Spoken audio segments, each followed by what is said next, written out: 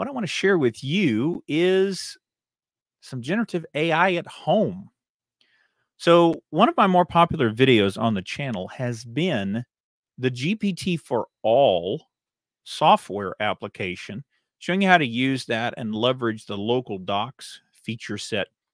It's been a few months since I've talked about the open source alternatives to the likes of ChatGPT and Bard.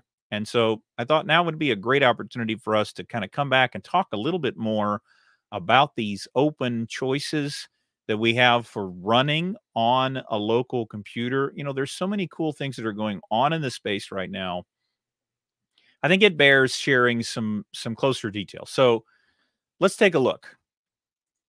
First, I want to I want to go into and and just share with you briefly. Here's a couple of things that we're going to talk about in today's discussion. We're going to cover the types of applications that we can use that run on a local system, where you can find them, how to run them on your own system. And then I want to talk a little bit about where I think this is going over the long term. And that's really going to be much more free thought, not not a guided slide. So let's just dive into a couple of things here. First off, part of what got me thinking about this open source LLMs as the future and the reason why I felt we needed to have an update today is that uh, it was only about a week ago that Mark Zuckerberg came out and talked about some of the things that are happening. And uh, without watching the Instagram video, which I could play for you, but the gist of the conversation is Meta is spending an incredible amount of money acquiring hardware that can build these large language models. More interestingly, though, with all of the money that it takes to build these open source models, Meta is actually pledging that Llama 3 that they are training today using these H100 GPUs, that is the uh, graphic processing unit that is most often used to build these large language models. They have hundreds of thousands of them to build the models. And they introduced Llama last year that became an open source capability. Llama 2 has been released. That also is open. And Llama 3 will continue those efforts. So Llama 3 is going to be an open source large language model that anyone will, will be able to use and take advantage of. And so this is not going away. And in fact, uh, there was some discussion last year. Google actually released, uh, not intentionally, some internal communications that really showed that generative AI was not a moat capable technology. That is to say, nothing about building large language models and making them available is going to be unique to Google. And the cat is already out of the bag. The the genie is out of the bottle. These large language models are a thing. There are open uh, models that are available, and anyone can grab these and build on top of them. So as we continue this evolution of all of the model development there's big news that comes out on a regular basis as well, brand new open things. So here's a good example the DeepMind AlphaGeometry. So this was kind of a cool announcement that came out earlier this week that they have been able to solve complex geometry problems using AlphaGeometry. And once again, this is an open source model. So not only are, I mean, there are two really cool things in this story. The first is not only were they able to solve geometry problems with a large language model, they were able to use 100 100% synthetic data to do it and it's available to anyone. You can go out there and get it, start playing with it. Uh wow. I mean, there's some really amazing things happening here. So don't dismiss that these open models are going to be a big thing. But what what can you and I use them for? And I think this is really where I want to start the conversation because I've constantly been sharing the sort of things that matter about using generative AI. And the reality is, whether you run it on your local computer or you're using some service elsewhere, we're looking at a number of key use cases and applications of these tools. And look, it largely hasn't changed since we started playing with them last year. There's all sorts of incredible things that can be put together with text generation, whether that's writing prose, whether that's learning about things, whether that is simply getting rid of the lorem ipsum. For me, the number one use case is eliminating writer's block. It's helping you get started. And the same really goes in terms of image and video generation. It gives you something to start with. You can have an idea. And with just a few words in a prompt, you can have a full color, really deep and interesting illustration like the one that you see behind me. This is more generative art. Uh, this came out of Midjourney and just kind of playing around with things to put on my desktop display to have something interesting to look at on the desktop. This is one I generated a while back, and I thought it would be fun as a backdrop for the discussion today because hey, all sorts of wonderful creativity that comes out of this. This is really more inspired by space. This idea of being on the beach in a in a foreign world seemed kind of interesting, right? Building a habitat. But anyway, there's a few more that are becoming more interesting. Music generation has really become an interesting use case. Uh, you know, there's so much music that's out there, and you know, if you're like me and you're creating content, you you sometimes want to have music to beh- put behind your content. Well, now it's actually possible to generate the music that sits behind it. So if you know what you want, you can simply go out and have that be generated instead of having to be concerned about a takedown notice because you used something that was copyrighted. And uh, there's some pretty interesting applications of this. And we'll come back to that here in a little bit as we go through some of the things that you can use this technology for. I'll show you some demos of things that actually run on my own computer that I've been playing with. So you get to see a little bit how I explore and learn about all of the tools that are available. Scientific discovery is not to be undersold in terms of being able to find new things. You know, one of the challenges that we have today is uh, we have a lot of legislation and law around what can be done in the healthcare space. I think what we're going to see a pretty dramatic explosion of over the next couple of years is patient data being plugged into a private system to identify uh, patient problems, um, help to prescribe medication, help to diagnose uh, conditions. Uh, I went to a really uh, fantastic presentation this week. We had a meetup uh, in downtown Dallas, and uh, one of the gentlemen there actually shared with us some of the work that he was able to do around uh, information from the human body around uh, our T cells and B cells, the antibodies, and how they respond to different kinds of diseases, what's activated in some patients and not activated in others.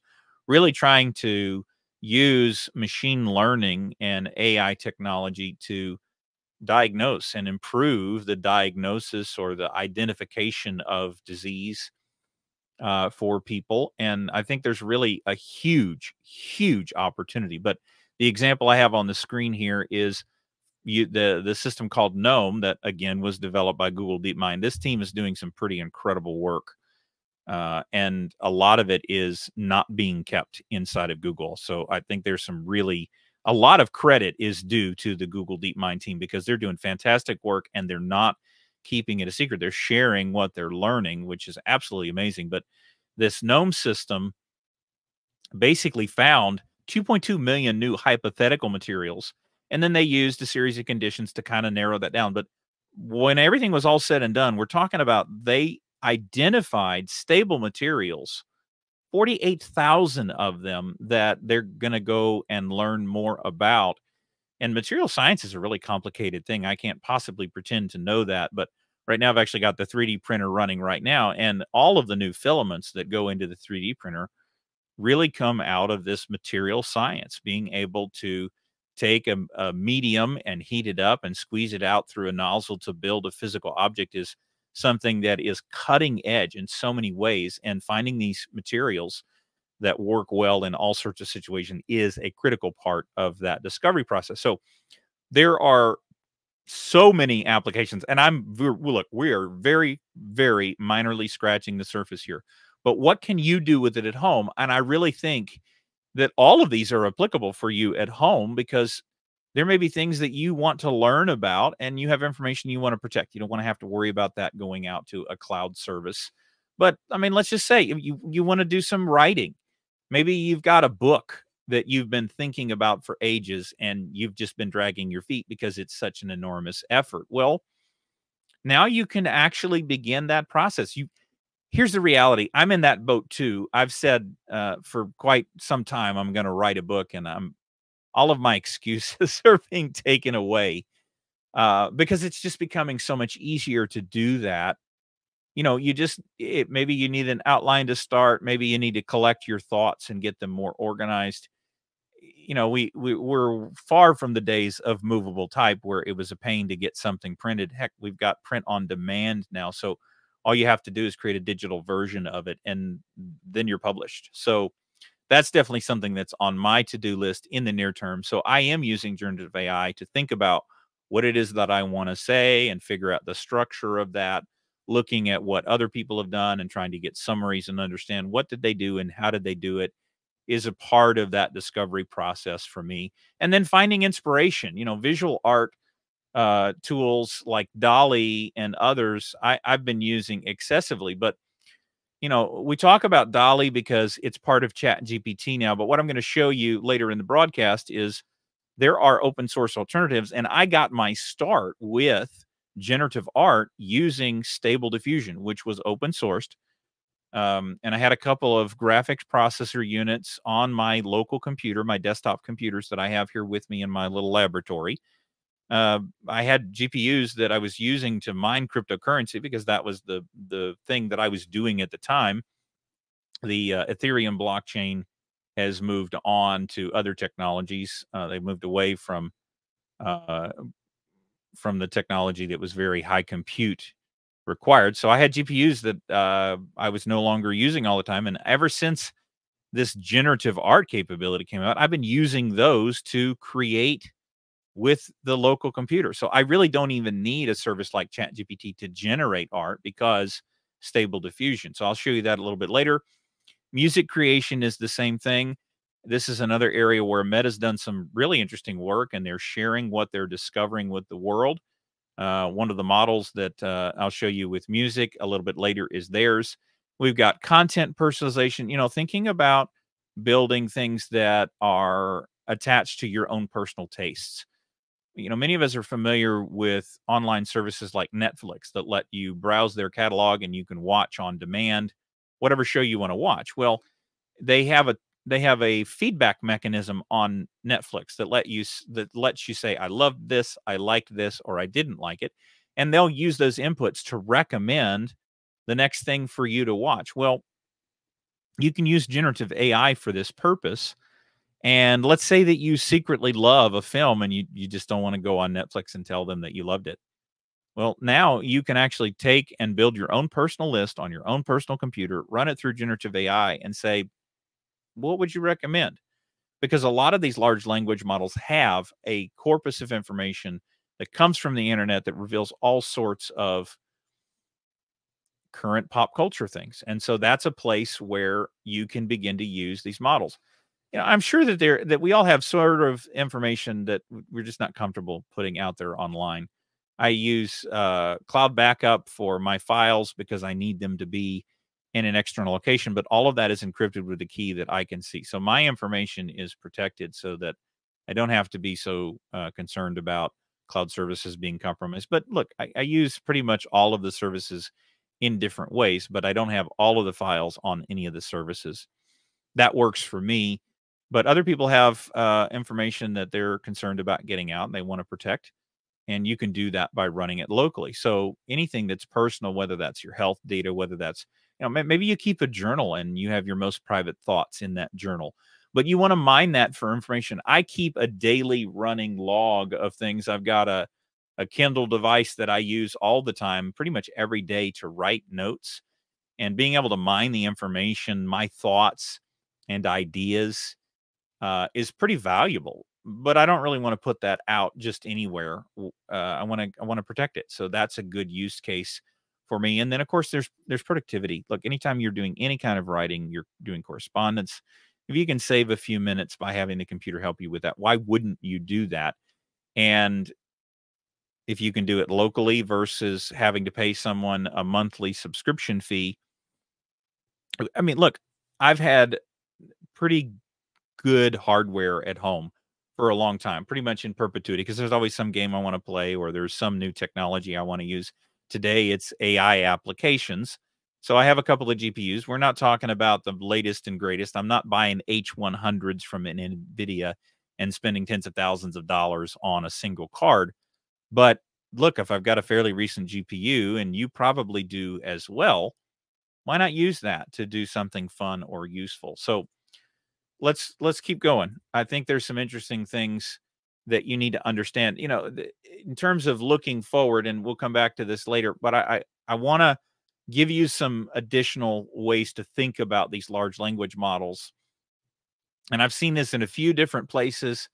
I went looking for maybe where the idea came from today, and this is what I came up with. There was a paper that came out all the way back in 2006 by these fellows at Stanford, and they titled the paper Compression Through Language Modeling. And essentially, this is where the idea came through that a large language model could actually be a form of compression. And one of the predictions I made in the newsletter last month, and by the way, if you aren't signed up for the newsletter, go ahead and hit that link in the comments. Sign up for the newsletter. I got another edition here coming out in just a day or two. Almost done putting that together. Uh, but the prediction I made was that by the end of 2024, we were going to have a proliferation, a standard setup for running a large language model on a mobile device like an iPhone or an Android. Yes, all of these things are available through internet, but let's just be honest, okay? the internet, while it's supposed to be ubiquitous and available everywhere, still isn't. There are all sorts of things that cause interruption in connectivity. And this idea of a language model as compression is basically allowing us to take the entirety of the data stored on the internet and put it into a large language model. And we're talking about gigabytes of storage instead of terabytes or petabytes of storage. And then you can carry that information around with you because these language models are taking an incredible amount of text and packing it into a model that is in some cases uh, less than a gigabyte in size there are more and more internet devices that are beginning to take advantage of these capabilities. And look i mean we, we've got this is a, a, a solid state disk that came out of a laptop. You know these things keep getting smaller and smaller so it takes less and less physical space and you know this is this is nearly a quarter of a of a terabyte on just this size and this is years old uh the, the format gets smaller and smaller and so we're going to see mobile devices that include a chip that stores the entirety of a large language model on a chip and then you can just access that from anywhere so we're going to see more of those solutions come out over the next year and then some. I really think, if I'm honest, it's going to be the size of a watch. Um, I, I expect that Apple's going to do some things. They'll probably embed a lot of this intelligence into their next version of the watch. So look for that because it's making new things possible like never before. But let's talk a little bit about how we can build a discovery mechanism and learn about some of the models and start playing with them there's kind of a combination of things here that I'm sharing with you. So, first is number one on my list today is LM Studio because it lets you choose virtually any model. Uh, and I'll show you some sources of models that you can use to identify what models you might want to try out. But LM Studio has been a tool that I've been using here lately to quickly get access to the new models and start working with them right away. Now, I'm not benchmarking these. I'm not running, you know, a battery of tests to figure out how good the model is. I am relying on others to do that. But it is interesting to get your hands dirty and actually play with the model a little bit, ask it some questions, see how quick the token generation is. And like I said, I don't have the fastest, most modern GPU setup. So, you know, my experience with it is going to be fairly average probably a little bit above average because the equipment I have is only a few years old. I think uh, I did the refresh of all of my equipment here in 2020, new hard drives and motherboards and graphics cards. Um, and I tend to buy the most efficient stuff because it runs 24 7, 365. But uh, LM Studio is uh, something I'll show you as we go through the talk today. Stable diffusion, as I mentioned before, that is what got me into generative AI to a significant degree when Stable Diffusion released their um, stable. Sorry, when Stability AI released their Stable Diffusion model as an open source capability. I had seen DALL-E through OpenAI, but that was something that was very limited and you had to pay for. And I love the idea of being able to do this all day long, iterating and changing things. And some really cool things came out of my experimentation with that. Then, as if you've been watching the channel for any length of time, you've seen my video on GPT4All. That also lets you run models locally. They've done a lot of additional work with this tool it absolutely has a place in the portfolio. And the place today is it uses something called RAG, which is retrieval augmented generation. Essentially, when we talk about this concept of retrieval augmented generation, what we're talking about is you can provide it a series of documents and it will create an index of sorts that allows it to use those documents in answering questions it's not the same as what you might see when you upload a PDF and summarize it. It's a different kind of mechanism. Uh, so it, it's not equivalent to, uh, say, like a LangChain with a vector database that put, that's put on top of it. But Local Docs does have some great capability in it. So totally something that should be on your radar that you should be aware of, especially if you have documents that you want to go through go through. I think there are more solutions coming to this problem, but so far, local docs works really well, and um, it's been very usable for me. Now, number four here on the list is how I keep up with the latest and greatest in AI projects. I've learned more from having a, a one click install in Pinokio than from a lot of other places because it really provides me with three things. One, it's a one click install. So I, if I see something about a new project, a lot of times uh, there's there's a fellow out on uh, X Twitter uh, called Cocktail Peanut, and he's the guy that's behind this Pinokio, or that's the the account behind Pinokio. Really cool. So I'll show that to you as we go through here as well. So LM Studio is the first on the list, and uh, I threw in a screenshot of it here just so you could see it. But essentially, this is a chatbot interface, and you can go out and download the model and it will load that model into your memory and it will use your CPU and your GPU for you to interact with the model. Essentially, they make it stupid simple for loading this and being able to use it right away. It is about as pain free as it possibly could be. I really like this tool, and it's it's really something that uh, I'm excited about because I don't have to wait very long for these things to become available. And what's really great here is you can actually not only download, but you can search for the results of these models. So if you hear someone talking about a new model, most often you can go in here and they will help you find it. So if you're not aware from previous videos and discussions, uh, Microsoft has this model called Phi, and they've updated Phi now to version Phi 2. And golly, this is already 45 days old. Um, and there are new models that are coming out all of the time. This is not something that is easy to keep up with. Uh, Mistral's doing a lot of great work. Uh, but what's really great here is that it is using the Hugging Face hub behind the scenes.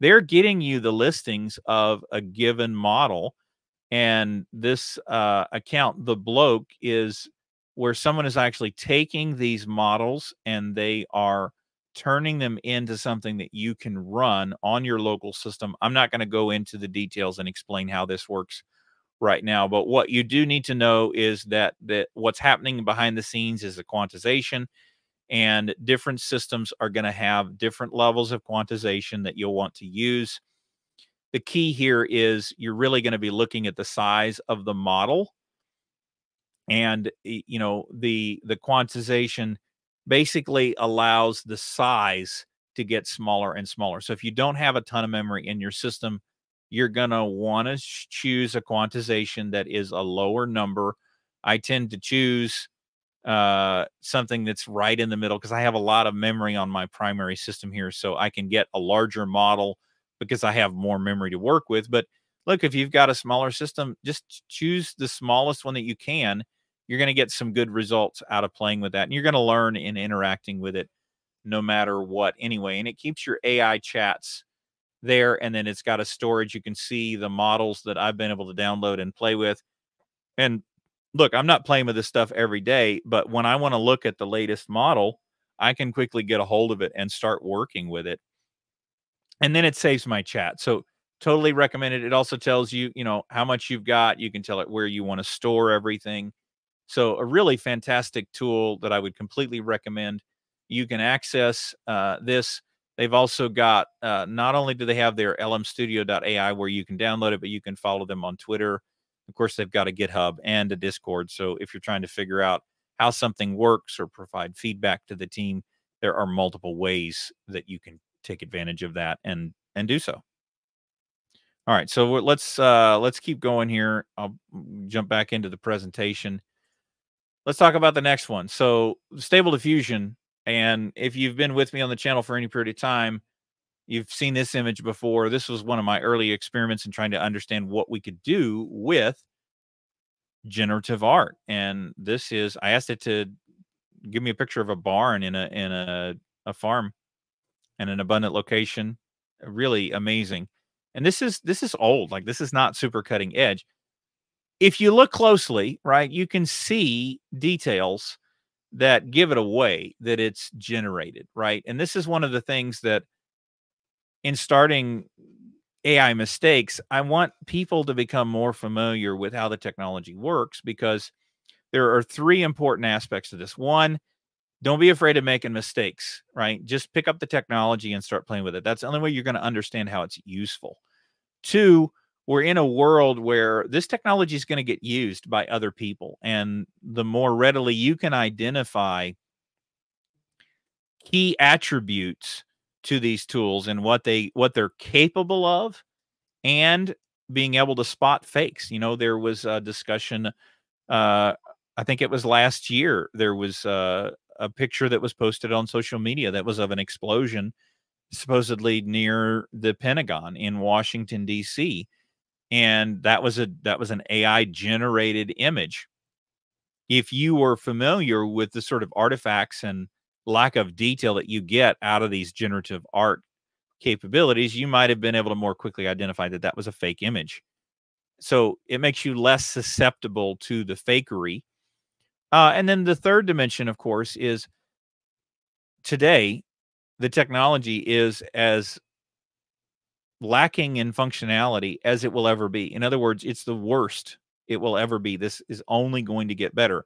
I do think that at some point in the future, you will not be able to easily distinguish a generated image from a real one. And that's not really a new problem, right? We, we've been faking things for a long time. In fact, we love to be told stories. We love to see things that are fake. We go to the movies all the time.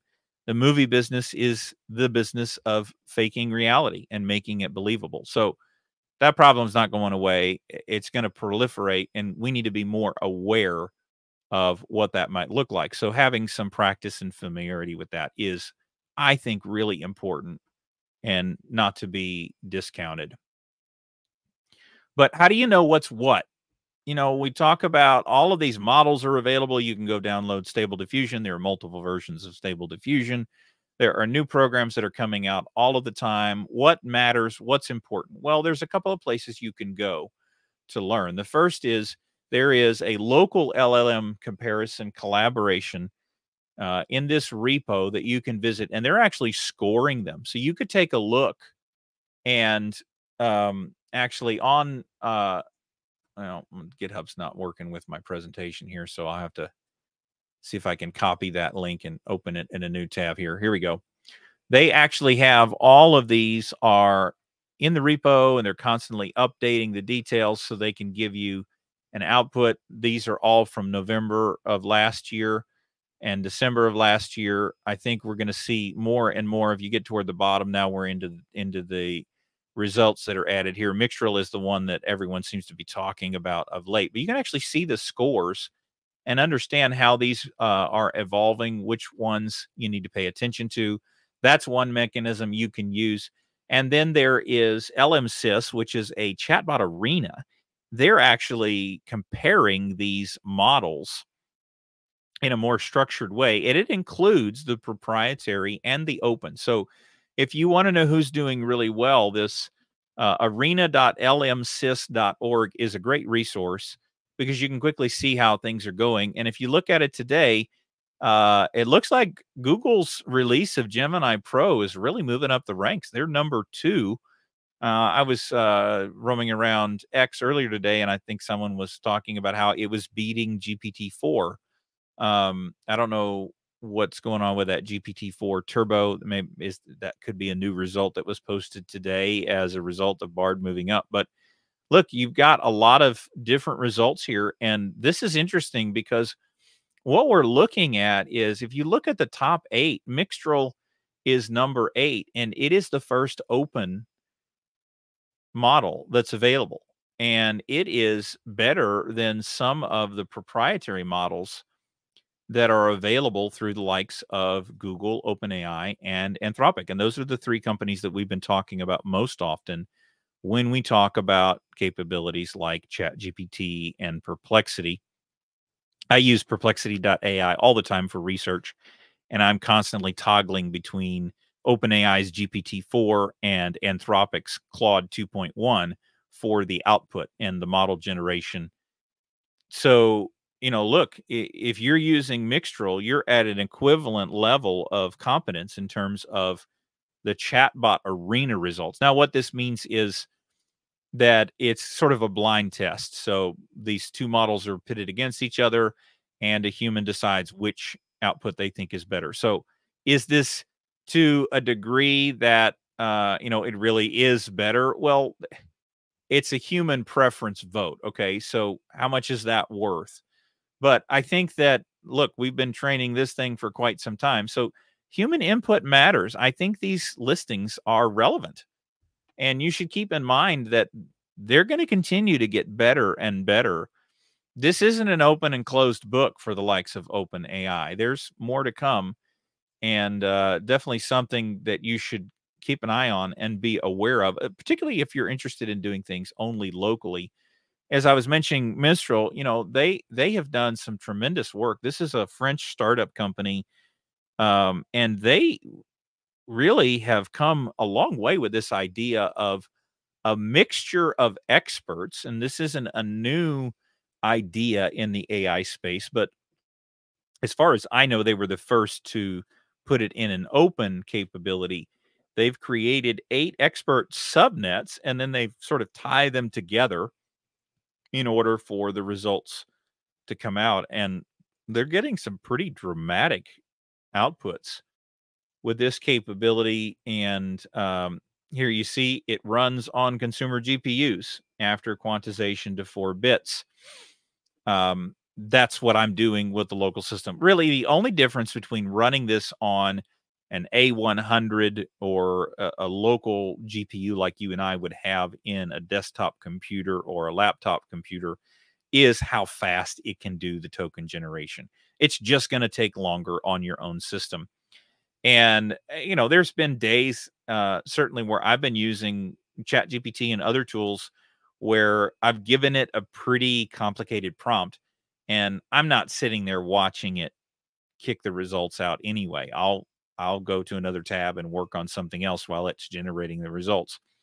I will say though that probably the biggest vulnerability or lack of functionality that you'll come across in running lo- running it locally on your system is that you are limited from a memory standpoint and if you are building a really sophisticated prompt um, I've had situations where I've submitted a prompt and never got an answer back. So just be aware that if you're doing the more complicated prompts, that's probably going to be a little bit more of a challenge running that on your local system.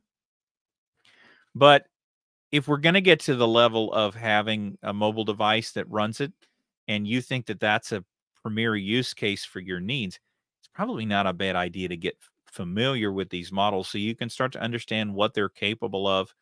you know, we've got, we know Apple's going to do some sort of development with large language models later this year. We've already seen uh, Meta has released uh, their glasses that include the model on the glasses. Uh, the you know I haven't had a chance to play with that tech yet, but I think that's going to get better and better, and we're going to see more and more interesting things in that space. As I said earlier, right, it is easier to do this than you think, and you don't have to get it from a source like me, but here's an example. GPT4All did an update that allowed you to start using your GPU to work with the model. So that's continued to evolve. But also understand that if you don't have a GPU in your computer, there are ways to run these purely with CPU. There are so many optimizations that are going on right now. It's kind of getting to the point where a couple of these GPT4All videos that I've done are old enough that they seem slow compared to what's possible today because there's constant optimization. There's optimization in the hardware and the compute that run the models faster, but also the algorithms and the methods that are used for doing the token generation. There's lots of opportunity for optimization, and it's going to get better and better. So don't dismiss it today because it's slow. Understand that it's going to continue to get better. And sometimes these improvements come in leaps and bounds. So if you think this might have relevance to your need, you know, doesn't hurt to take a look. And of course, I'd love to hear from you if you've got something that you are interested in. Let's talk about it. I wanted to throw in another quick anecdote here. Uh, there's a lot of organizations and people that are really interested in doing fine tuning of models. Um, in looking through the job listings for generative AI capabilities, that is something I see a lot. They're looking for five and 10 years of experience in machine learning, and they want someone that can train and improve models.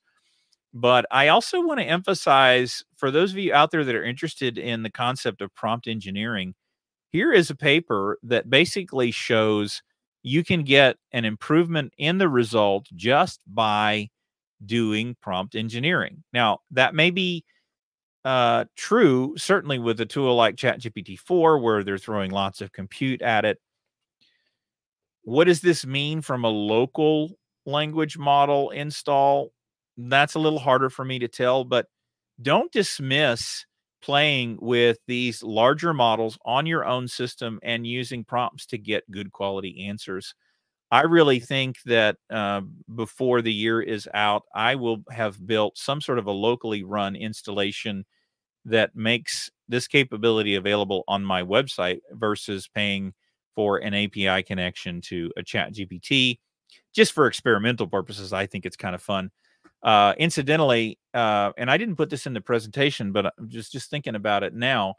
You know, I I talk about perplexity a lot because it's a favorite of mine, it's not something that anyone else has to do. But what I what I've learned is that there is a, a lab option on Perplexity. So you can go to labs.perplexity.com. And one of the cool things that Perplexity has done is they've actually made these more popular models available on their labs playground. So you can actually go out here and grab Mixtral 8x 7B Instruct you don't have to do anything to run it on your local system and you can interact with it. So if you just want to play with it and get a feel for it, you can use somebody else's GPU for free. A lot of a lot of sources are making these things available just to really contribute to the community and the growth of the industry. So uh, kudos to Perplexity for doing that. I think that's very cool.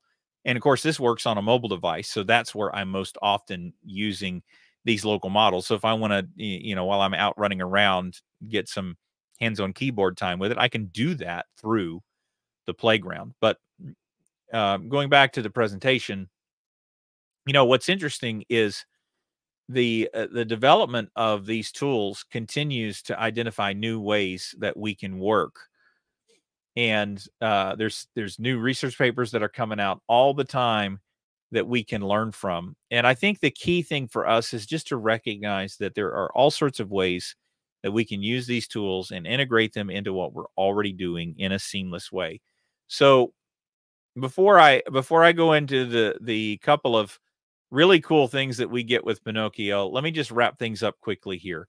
In terms of using generative AI at home, here are the big things that you need to consider. What is something personal that you want to do that you want to keep local or maybe not pay for a service? What is uh, the, what kind of information do you want to carry with you all the time? That's a use case and scenario. And then integrating it for you, you know, if you're not a programmer and you're not wanting to pull up and use APIs and these no code development tools that you have to pay for a subscription for, it's probably going to be easier for you to write some things that integrate into the systems that you're already using and just run it locally, right? If you're copy and pasting documents, you can do that all locally. So don't hesitate to try things out with these local tools if you have a decent GPU because there's a lot of cool things that can happen. Okay, now let me let me jump into a couple of critical anecdotes here. I've hit the end of the presentation.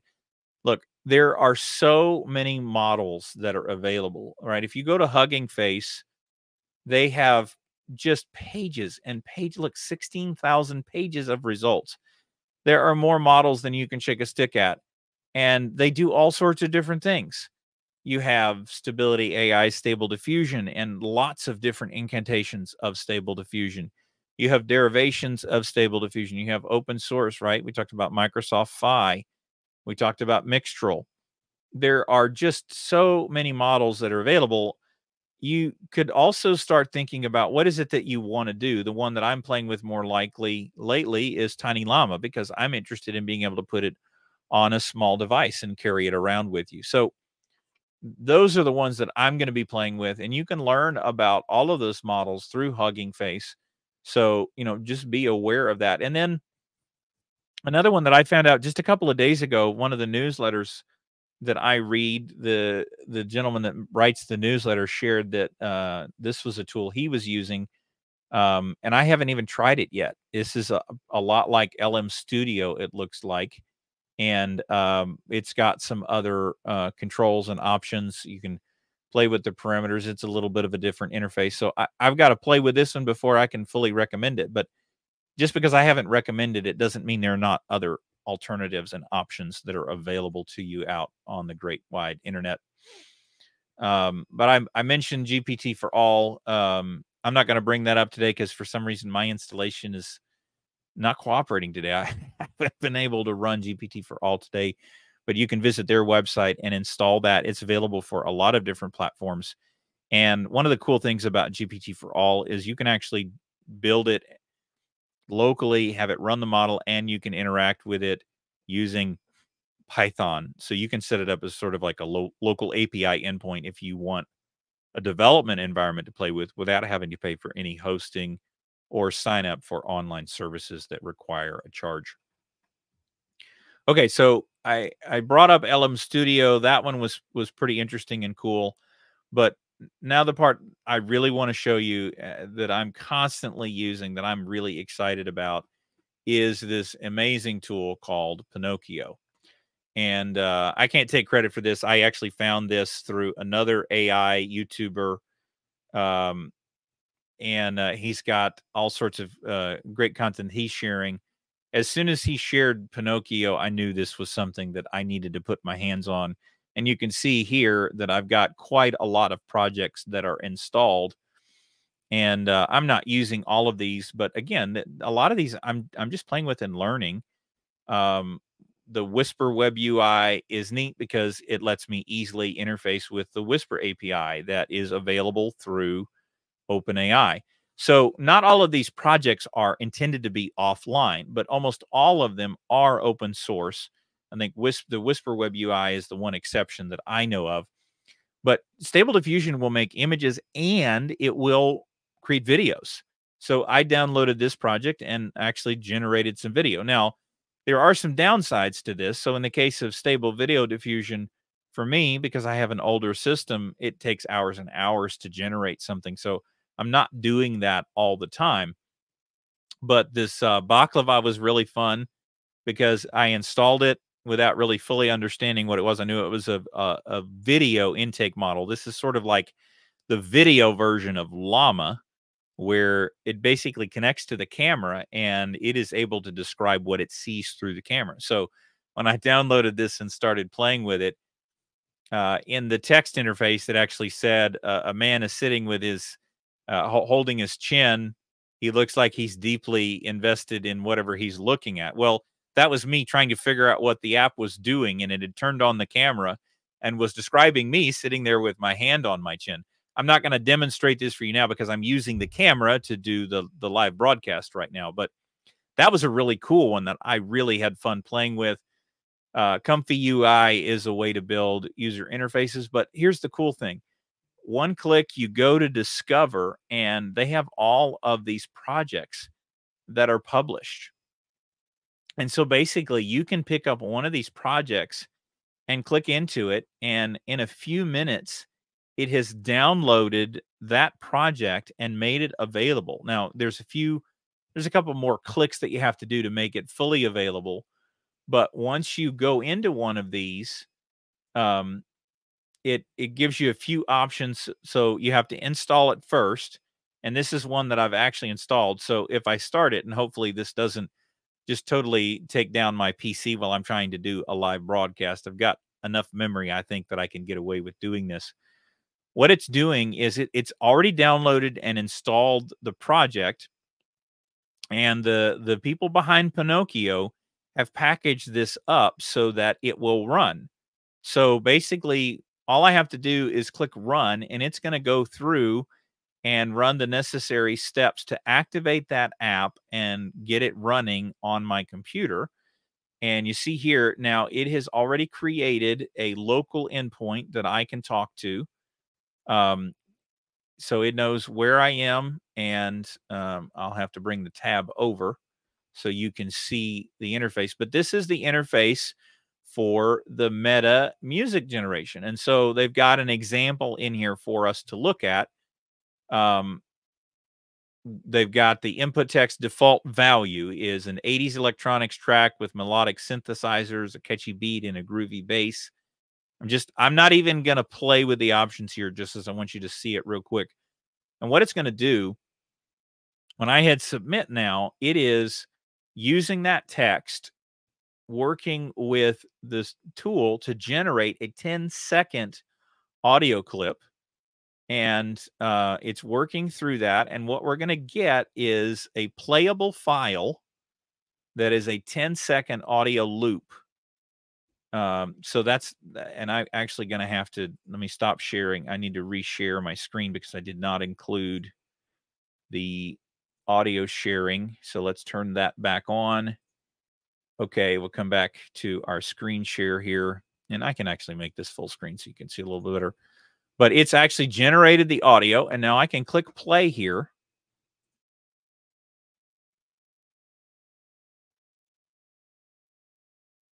absolutely amazing. So that's generated audio. It created that soundtrack and it even did a variant.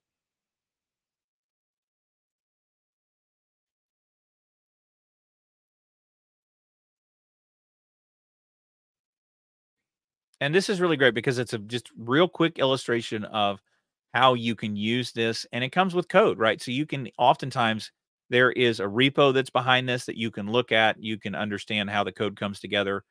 Uh, there's a lot of uh, folks that are using this Comfy UI tool to build a simple interface that gives you the basic controls that you need to run with a project. But this is a really wonderful way that you can get your hands on these open source projects and run it on your own system just to learn about what it's capable of you don't have to have a huge data center to start playing with and learning about AI.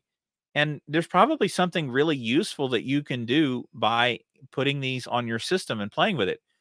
one of the other cool things about Pinokio is that you tell it where you want it to live and you can have everything installed in one place. So as my hard drive fills up with all of the data that comes with these projects, I can really quickly go in and remove some of the largest projects if I need to go into find space because that will eventually become a problem for me. I've still got some room today, but there's all sorts of opportunities there for you to play with things.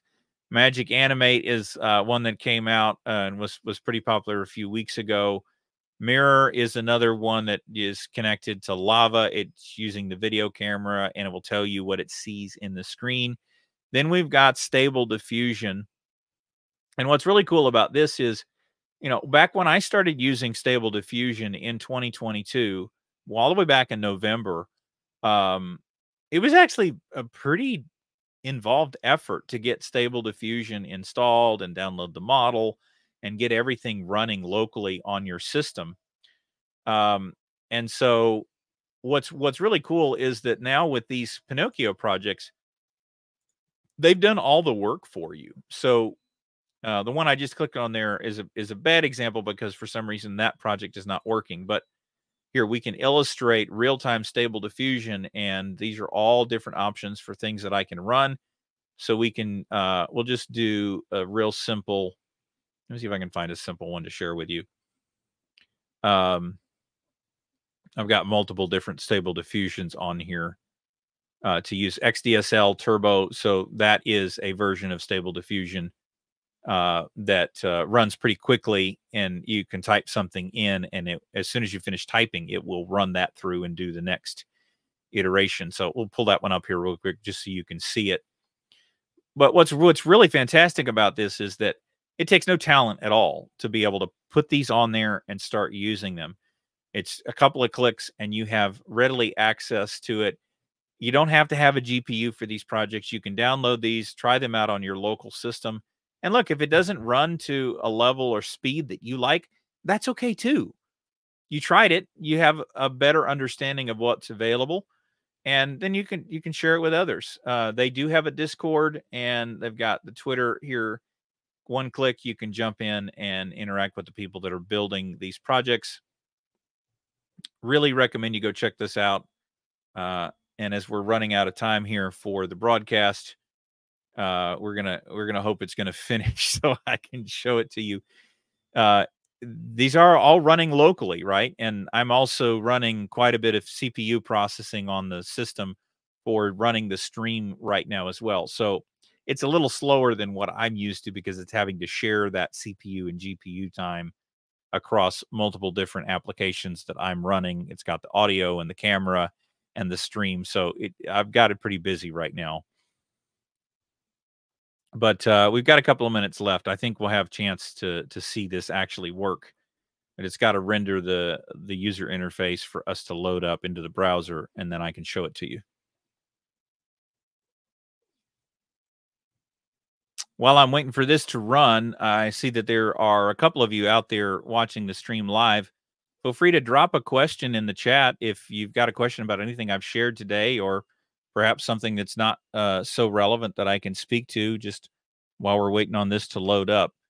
it, it is uh, really so much fun to play with these things. And this is really the best part of the job, honestly, getting to learn and experiment, see the kinds of incredible projects that people are building, and then being able to share them with all of you that is something that really excites you. You can actually see my camera's a little bit delayed while it's running this. So uh, you can tell this is a live stream, right? You never know quite what you're going to get. Uh, it's part of the fun, though. Um, as it's loading up the the elements, it's borrowing the GPU time, and uh, it's making my my video and probably my audio a little slow. And I'll have to check the recording here when we're done see just how bad it is. This may be something that I, am not able to do in the future. But oh, look, we've got a URL here. So once again, we've got uh, Gradio that is our interface. Okay, now so we've got the interface up, and I can I can just type something in here. So a uh, sandy beach with sunset. Oh, that's my keyboard messing up. sandy beach with real time with sunset in background. And you see, it's as soon as I'm finished typing, it is trying to generate that scene. Uh, that's what's cool about XDSL Turbo. Uh, and as you change it with a blue sky, it will re render it. And it only takes a few seconds to render it back when I started using Stable Diffusion, we were talking about a couple of minutes to generate an image. So this just gets better and better. And what's cool about something like this is that it allows you to progressively manipulate the prompt. So this is also going to make you better at prompting. Um, so there's a lot of opportunity here, and then you, there's there's a couple of other controls here. I can have it grab an image from the uh, webcam, or you can upload an image for it to start with. But another great example of a local project, and uh, they they are even making it easier for us to take advantage of these kinds of projects by giving us examples and showing us how they're building these projects just to share them sort of as a proof of concept for us to play with. So, some really cool things running large language models and generative AI locally at home. I hope this has been interesting to you. I'm having a lot of fun doing this. And in the couple of minutes that we have left, I do want to share with you one other interesting tidbit. I think where we are in the future, look, this is going to be absolutely everywhere. Um, it will be unavoidable. We're going to have it on every kind of device and every kind of way. And I think we'll see these solutions are becoming integrated into devices, uh, whether it's your car or you know your vacuum cleaner. Yes, I think that's going to be a real thing, but I also think that we're going to use these capabilities to improve the functionality of the devices and tools that we use every day. And speaking of improving things every day, I want to let you know that the online course for business pros is available. I have been working really hard to build a couple of key capabilities to share and help others learn about AI. And so I have created an online course. I've also got uh, an in person event. If you're in DFW, check that out. That'll be uh, February 13th you can uh, check out some tickets there and come see me. But we have an online course. I, it's called the Business Pro Master Course. And basically, it shows you all about not just using AI, but using AI to solve real problems for you, whether that's in your personal life, helping you improve your efficiency and productivity in your business and working life. There's all kinds of incredible ways to use AI, but we also want to be sure that we're not just playing with AI, we're doing something really useful. And this course is geared exactly to that. So the next cohort is going to launch in just a few days. So if that's at all interesting to you, go check it out. Drop by courses.ai-mistakes.com or drop by the website ai-mistakes.com and click the order today button and it'll take you to the page tell you all about the course. If you're at all interested in that, just go check it out, take a look at it. If you're not sure it's for you, feel free to grab some time with me. I've got uh, an opportunity to grab a call with me. I'd be happy to talk with you about what's available. I'm always working on the next iteration and additional options. So if you don't see something that you like, also do let me know that you you're not feeling like it's for you and that you have a need for something else. I'm always looking for ways to learn about how I can help you. So let me know what you're looking for. I'm going to continue doing the online YouTube and the newsletter None of that's going away, but I want to add more offerings that are going to help you be successful. Uh, that's what led me to starting the mentoring and coaching. That's also something that's available. And of course, you're watching me on one of the streaming pathways that I share with you today.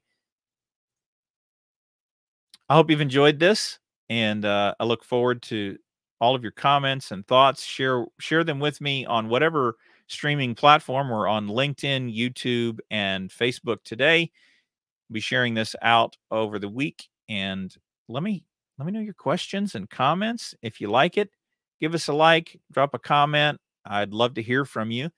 Don't feel to don't be shy. Reach out. Let's have a conversation. I hope you're having a great time. Go make some mistakes